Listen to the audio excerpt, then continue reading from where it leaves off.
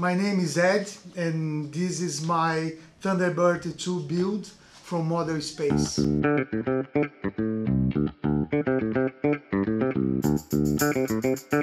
How, how did I get started with models? This is uh, comes from, I don't know, I was very, very, very young.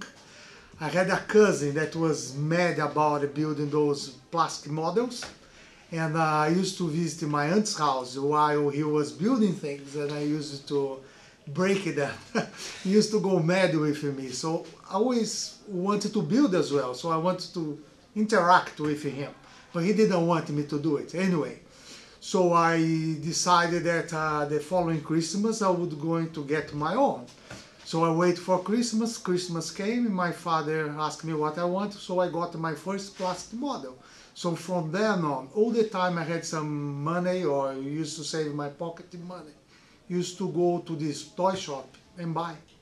So that's how I, I started like building airplanes, all sort of tanks, all sort of things.